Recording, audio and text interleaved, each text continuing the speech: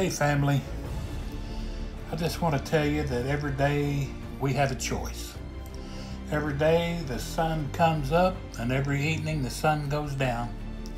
It's just a reminder that we each have a choice. We can choose between light or we can choose between darkness. We can choose the light of God and the everything that goes with it, or we can choose to be consumed with the present darkness that is surrounding surrounding this world as we see it today. These are for sure dark days in very dark times. The days of sorrow are here. Many are being crushed and many are hurting deep inside. Many are feeling they have been left with no hope. I have always tried my best to look at all disappointments more like divine appointments. Not disappointment, but appointment. I have tried to look at those times in such a way that this was my appointment to begin the next phase of my life that God had ordained just for me. I try to always remember, no matter what, that all things are working together for my good. And the same applies to you. I just want to remind the body of Christ that praise for the Most High God is a powerful approach we can take when everything seems to be falling apart. Your weapon is the melody of praise that we are lifting up to the Lord. When we feel like we are surrounded on every side, let's all try to remember that we're actually surrounded by God. When the cares of this world seem to surround us, always run to the rock that is higher than we are. I'm reminded of a story in the Gospel of Luke, chapter 13, and verses uh, 10 through 17. We we find a woman who had been been over double for 18 years, which meant she wasn't able to stand up straight at all. Uh, verse one, verse 10 says, One Sabbath day, as Jesus was teaching in a synagogue, he saw a woman who had been crippled by an evil spirit. She had been bent double for 18 years and was unable to stand up straight. When Jesus saw her, he called her over and said, Dear woman, you are healed of your sickness. Then he touched her, and instantly she could stand straight. How she praised God. This particular day was on their worship day. It was a Sabbath day. It didn't matter to this woman, no matter her pain, no matter her affliction. This woman found time to worship her God. Uh, from the scriptures, we find that the woman did not approach Jesus, but that it was Jesus that approached her. And he said, Dear woman, you are healed of your sickness. Glory to God. Maybe you have felt like I have many times that you feel like no one special. I just want to remind you that if you're called by God's name, you are somebody special to God. The turmoil we see in the world today is extremely real. Uh, there's mayhem, there's uh, disruption, there's chaos, there's looting, there's killing, there's everything imaginable. It's just a sign telling God's people that we're getting ready to rapture out of here. We're getting ready to rapture out of here. Just like this woman, she, she wasn't begging for anything, she was just merely doing what she loved to do, and that was to worship her God. That's one thing I've always tried to do, and it's not easy. This thing called life is definitely not easy. Not easy at all. Uh, you say, well, that, that's easy for you to say, Brother Steve. Well, I'm actually a man that has been at death's door. I am a man that has lost everything that anyone could ever have in this world. When I married Susie, I had probably four or five boxes to my name. That was it. All other had been lost. And, you know, so many of us are feeling hopeless and feeling like we can't go on. We feel like we've got to face another day. You're so ready to go to heaven. God has that appointed day. Oh, glory to God. God has that appointed day set in stone, and it will come when He gives the command. For now, let's allow the Most High God to weigh the mountains that stand before us. In just a moment of time, Jesus can touch us, and everything will change. Many religious people merely follow tradition.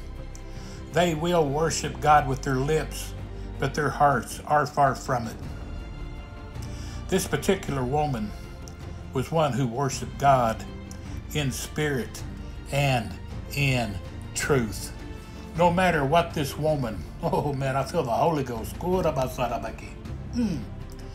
No matter what this woman was feeling or how bad she was hurting, no matter what she was going through, she found time to go praise her God. Brothers and sisters, dear family, I want you to praise the Lord God Almighty each and every day. Amen. Find time to worship the Most High God. When Jesus was in the garden, he said, Father, if it any way possible, if this cup could pass by me, but not my will, but your will be done. I, I don't understand the ways of God. I know some days are good and some days are not good. Amen. In Ephesians chapter 6, it says, When the evil day comes. We got to stand strong in the Lord and in the power of His might. It means evil days are going to come. And believe you me, the evil day has come in this this day and time, amen. And because this Jesus is getting ready to come. Glory to God. But no matter what, this woman praised God, and that's what I want us to do. And God is telling me to tell you do not be afraid. Do not worry. God is able to care for everything you have ever dedicated to Him. In Luke chapter 5, uh, let's see what the disciples were doing. In Luke chapter 5, verses 1 through 7, it says, One day as Jesus was preaching on the shore of the Sea of Galilee, a great crowd, great crowds pressed in on him to listen to the Word of God. He noticed two empty boats at the water's edge, for the fishermen had left them and were washing their nets. Stepping into one of the boats, Jesus asked Simon, its owner, to push it out into the water. So he sat in the boat and taught the crowds from there. When he had finished speaking, he said, Simon, now go out where it is deeper and let down your nets to catch fish. Master, Simon replied, we worked hard all last night and didn't catch a thing, but if you say so, I'll let down the nets again. And this time their nets were so full of fish they began to tear.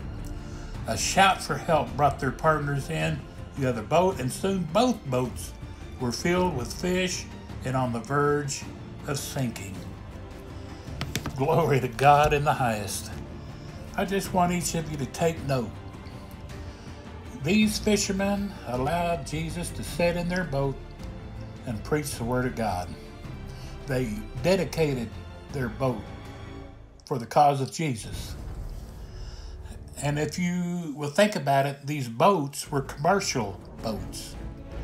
These men were fishermen. They made their living by fishing. And uh, they more or less dedicated their business to God. Amen. And as a result of having dedicated their business to God, the overflow, glory to God, the overflow, the overflow came. Maybe you're in need of joy in this hour. God is saying, launch back out into the deep, let down your nets, and get ready to receive. Oh, glory to God, because joy cometh in the morning. Amen. The joy of the Lord is your strength. Praise God in advance. The people of Israel marched around Jericho. They, they, they let out a great shout. you know, and, and, the walls came tumbling down. They, they shouted a shout of praise before the victory was won.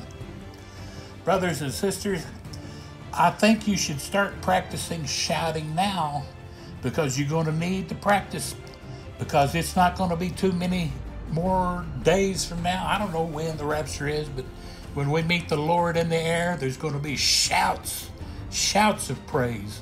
So you might as well start getting your your your shouting shoes on now. Amen. Glory to God. And I just want you to remember remember, remember, and never forget the next time you feel surrounded, just see yourself surrounded by God. Dedicate everything you had to the Most High. Dedicate everything you had to the Most High God. You dedicate your life, your your family, your your business, your finances, your your love, your everything, your everything. And find time to worship God. Find time to spend time in God's Word and then go and worship Him. Glory to God. That's what we do. We worship Most High God. Sometimes it's not easy to lift up a praise when everything's not going well. I totally understand. I know I've been there. I've done that. But fake it till you make it if you have to. I've done that many times. Amen. But this is how I fight my battles. Like Paul and Silas, been beaten and, and ridiculed and everything spat on everything else. They sat in the in the lower parts of the dungeon, and at the midnight hour they were praising God, and the walls began to shake. Brothers and sisters, I want to tell you the truth. I believe with all my heart that when the rapture takes place, the very ground beneath your feet will rumble. Glory to God in the highest. Jesus is coming. The devil wants you to be discouraged, downhearted, saying nothing's going to work for you. I rebuke that devil in Jesus' name, the blood of Jesus against everything coming against you. We will pray for you. We will continue to pray for you every day. Just keep your hope alive. It only takes a spark to get a fire going. Spark out a, a shout of praise. Just strike a spark. Strike a spark of praise over the kindling of God's promises. Glory to God and just magnify the name of the Lord. We should be overjoyed and cheering at this point because our King is at the door and we are about to go home. I want to tell you that my wife and I, we love you. We pray for you and we will definitely be seeing you in the clouds of glory, not too many, too much longer from now. Amen. God bless you. We love you. And Maranatha.